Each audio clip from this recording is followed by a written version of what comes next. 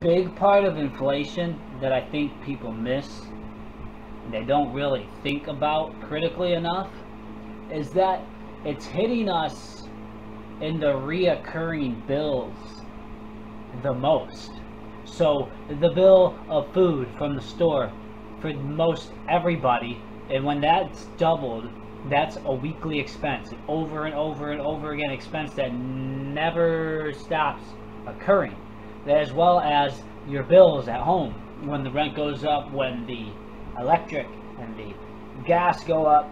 That's reoccurring month after month after month. You never get away from it because we're all, for the most part, slaves to it. Unless you break free of those systems by devising your own ways. Over here with the Muscovies, the babies come up here because they don't go inside right now. They don't go up the steps. Probably not until they get bigger will they figure it out like these adults. But I throw them their layer feed through here. What I'm going to do is I'm going to put a feeder right here. One that I can have access to from the outside and then be able to dump feed through for them to eat right here because they like to run up and down. They're doing right now. And come over here. So I'm going to build that right there onto there. It'll be an easy way to feed everybody outside who's in this run instead of having to pour it in through the chicken wire top. It's kind of messy and then it hits them when it pours down. They're really beautiful at this stage where they're juveniles and they're not fully grown but they're not quite little babies. You really get to see their colors scheme, their patterns come in and watch them develop into either a male or a female, a drake or a hen. Like that guy there is the drake. You see how prehistoric and dinosauric they look? And look at her. She's the hen. They got this red patch on their face like they're wearing a mask.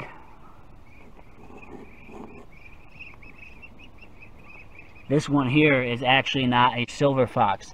It's a Flemish giant crossed. The giants are actually bigger than the average meat rabbit, like maybe almost up to twice the size. So this is going to be a big one. She's special.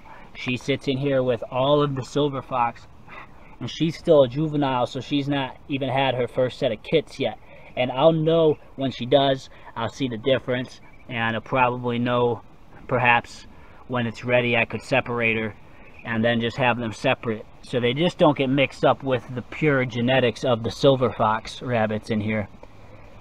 And I can have that for meat production. I want to have them as a meat source for me because they'll be bigger.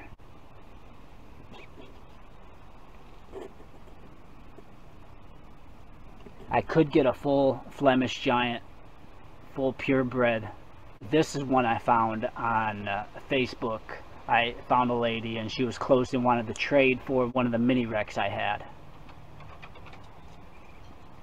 And the mini Rex is a pet. So it was going to be a pet breed project of mine, but I didn't want to do that anymore because it's a lot of work to maintain them when it wasn't as lucrative or efficient for production of meat and sales would have been you know limited So instead I replaced it with a different breeding project for meat, which will be a larger breed rabbit. Eliminate all of the expenses, the bills, because of inflation and they're just not needed. Gas. I let that bill go months ago. I don't need it. I have a wood burning stove. I have propane water heater when I need that. And that's pretty much it. I have propane stocked up so that I have that when I need it as a resource. I have propane burners and even cookers like ovens and heaters, a Mr. Heater 30,000 BTU thing for heat as a backup redundancy. That's the gas that's not needed anymore. My internet. I use my neighbor Tom. I'm in good with all my neighbors, building good relationships with them so that I can well, work with them, communicate and get tools and get help with things when I need it and things like using his internet. So I come out here to get a better connection to do uploads and downloads and things but inside I get just enough connection to stream and do whatever I need to do there. And it's really nice because I don't have that bill anymore. So that bill's gone. And then a vehicle. So I don't have a vehicle right now. I haven't in a couple months. When I need to go somewhere, I get a ride with family. So it's not often, but like once a week. Everything in life you can pretty much get delivered to you same day with Amazon. They have the Amazon Whole Foods to get food, groceries. You don't even got to go to a grocery store. And you just pay a little extra, which really kind of saves you money and time because of the price of gas now. So with that, there's also the Instacart where you can get all the box store stuffs delivered right to you. And I use that a bit now. So I get deliveries delivered right to me. And then business. So the bug business I have, I have boxes that got to get shipped. So they get picked up by United States Postal Service as long as they got the shipping label on them. And you can get the boxes for free from United States Postal Service you can get your shipping boxes. And then I do sales with the animals and eggs. I got a buddy now who's gonna every week pick up seven dozen eggs. He's on a raw diet and that's gonna be consistent five bucks a dozen. So that's 35 bucks. So I'm getting revenue being able to be at home in my element in my environment free from a nine to five and working on eliminating all the bills which is going to allow me to beat inflation. Food I pretty much grow my own so I don't spend much money at all on food. And uh, then that leaves electric which that bill is a bit. And you can get away from that by getting solar by having backup generators just in case you can have that too. So you know get a tri-fuel generator with which runs off propane, natural gas, and gasoline, stock up on the gasoline and more importantly the propane tanks, you know, like you see at a gas station where they got them in a cage, have that like at your house. Maybe you don't need the cage, but just stacked with smaller, you know, barbecue grill size, and those are tradable. Those are portable, more accessible, usable, and then you can just refill them as you go through them for half the prices it costs to buy a new one. You go to uh, the tractor supply, it's a bit cheaper to buy their empty tanks and have them fill them there than it is to go to a gas station and buy them. So there's that. And then with electric, I'm thinking things like, I'm pretty radical, and I'm thinking, you know, you get in good with your neighbors. If things got really tough, or if you could even devise a plan with them to do a trade-off, I can run everything minimal where it's like an appliance or two's worth of energy at any given time I don't need to use that much. In the winter maybe a little more for the grow lights but I could hook up switches and unplug and plug in to just use what I need at that time.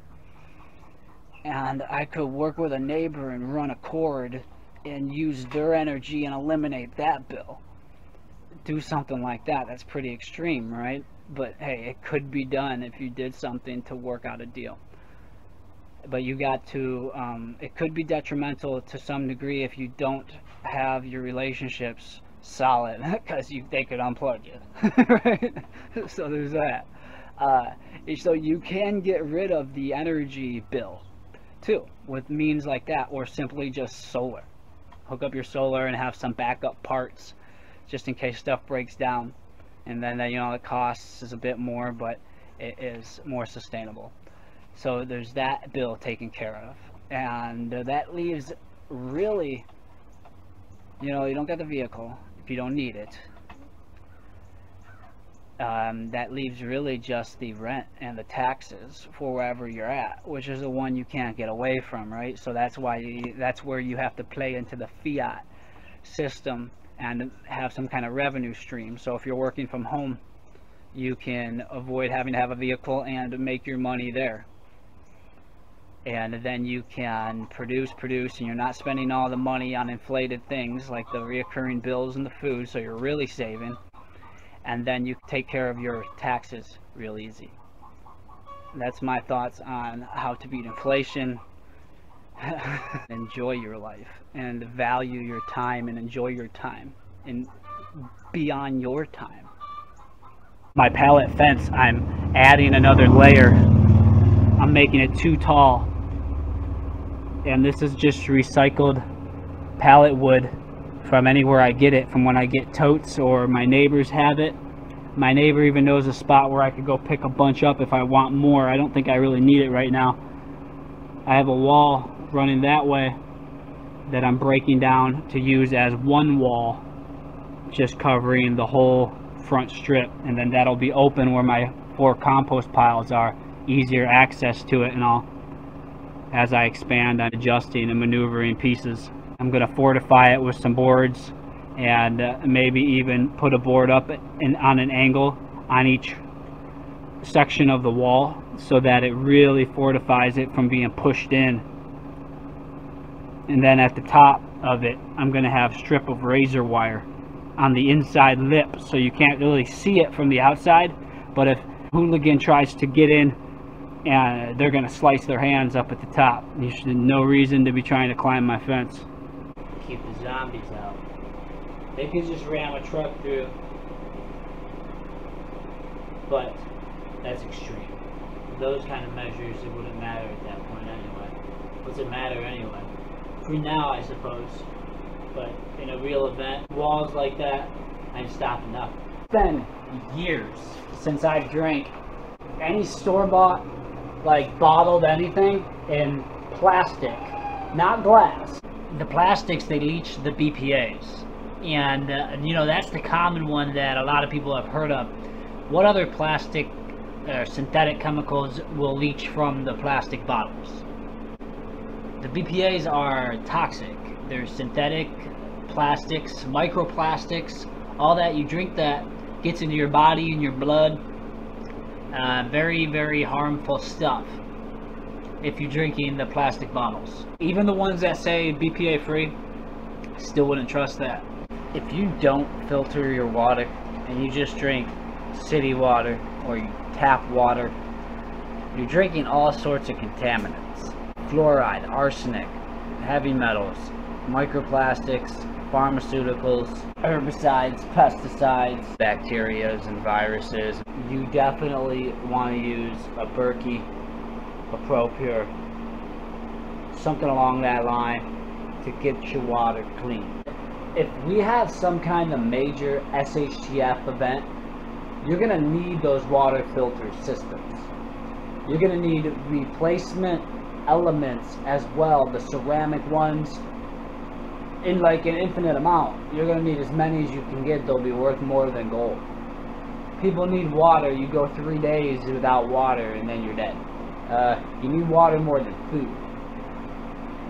See, I got quite a few of these systems. I've been building my own.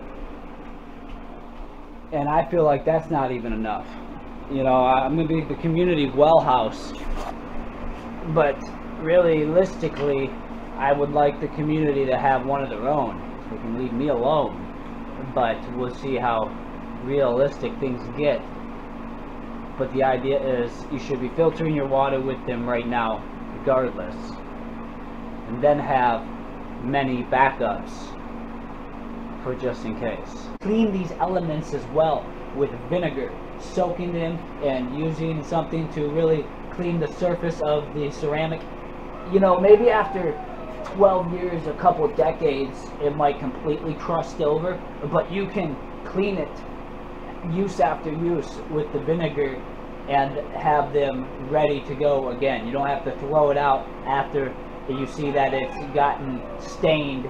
They last and last and last. Fast food, I wouldn't even think about it. Uh, it's been years since I've ate at a place like that or any restaurant at all.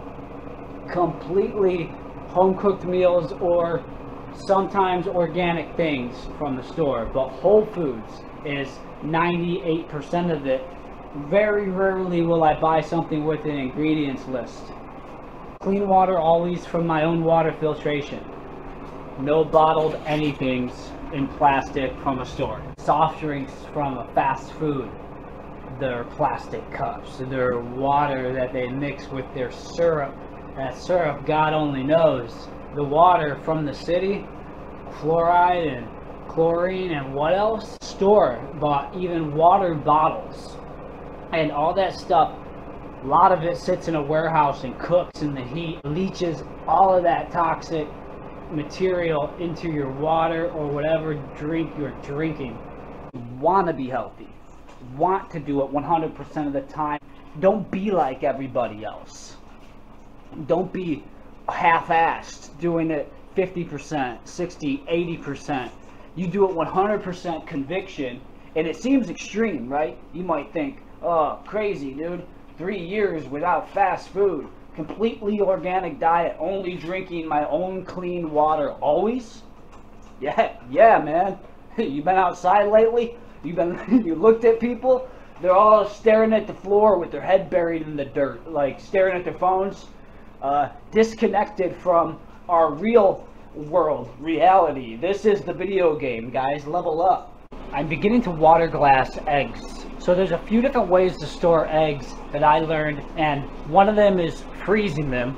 So in my freezer here, there are eggs that I froze, and they're in little cups, like uh, cupcake cups. These are silicone ones. They peel easily, and you can freeze them, and they last, I don't know, a year or two, whatever a freezed egg will last, and you can store them up this way. Take them out of here, put them in a bag, and store them. That's what I'm going to do with some of them. The others I'm going to water glass like I have in here is a water glassed jar of some eggs that I is my first water glassing test for eggs so I'm going to hold on to that for a little while and then check on them crack one and see how fresh they are maybe in a few months or something. What I'm about to do is use these small containers and store maybe six or eight or ten, however many will fit in them, and they will be like little packs of water glassed eggs for barter as uh, well to use. But just in case you need to barter some eggs that you've stored up, you could have them in these little containers and you'll have multiple of them. It'll be easier as a trade item. And I have questions as far as water glassing that I haven't got answered yet. So like, if you mix up the solution and you drop some eggs in there and you continuously add eggs to it over time, which I've heard you can do, if you put them in a bucket and the bucket's not full because you don't have enough to fill it at first, so you add over time, but the solution, it settles. And that hydrated lime all settles to the bottom and then the water above it isn't stirred and mixed with the lime. So my question is, is it still okay to say a week or two later after you've already added eggs and that lime has settled to keep adding eggs and keep adding eggs as uh, you know a month goes by or two months goes by because that hydrated lime has already settled will the solution be concentrated enough still to protect the eggs as you add them over time that's one of my big questions so I figure if I just make these little packs each time that I go to water glass eggs, then it will be a freshly mixed solution every time. You want to prepare for both worlds. When you wake up one day and it all changes like a bad dream. Okay, well that's what we prepare for. But also we want to continue to live our life and grow and build and expand on our businesses and continue to be normal so you have the contingency of both worlds. And that's a big thing to really grasp in the prepping realm is that it's not just about spending all your energy and putting that into preparing for the grid down for the SHTF and not focusing on your future if there isn't an SHTF. Say the grid stays up forever and we're all good and live happily ever after. You want to be able to continue to exist in that fiat realm and create and produce to bring in revenue and money to live successfully. So there's both worlds. There's the SHTF and then there's the fiat construct. So you want to be successful in both. I have a bug business where I work like two days a week with roaches and isopods, maybe like four hours each day, so eight hours total, and then I'm done for the week, and I get to move on to other things and my projects and all of my passions and hobbies and all that. One of them, they're getting ready to be picked up by the post office. They do pickups so I can work entirely from home. I don't even got to leave my house ever. I get get deliveries of anything I need, and really I don't really leave much at all. So it's great. And here you see these are the bugs in their cups, roaches and isopod. Some more cups here. People collect and also use the bugs as feeders for the reptiles. And uh, some people like to try to catch them all. Uh, with the isopods especially, they come in all sorts of different color patterns and they've got cool names like dairy cow or panda or rubber duckies and then the roaches too i don't so much do as many species of roaches as i used to just a couple different but uh, the isopods are more fun and they're more collectible and they're high value really. Check out the link i have. You can see my ebay page where i do a lot of sales and you can check it out there. But yeah start yourself a business so you can work for yourself and that's the way you truly get free. A beautiful thing about the bugs is that it's a farming thing and feeding them things that I grow, I get to produce prolific amounts in abundance, and then that creates that many more that I can just sell for revenue. And if I put a lot of energy into it, I can produce a ton of them, and that ups my production and ups the numbers, and then I get more sales, and then I can offer better prices and more amounts. I can offer the best value in the market Got a good amount of seed potato here. Now there is actual real potato seeds. True potato seed, you might say. It's the berry. It's the potato berry that grows on some potato plants and you get it when it's green and you got to get the seeds you cut it open it's like a little tomato inside and you got to ferment the seeds to get those seeds to save and you can plant them and plant the plant from real seed versus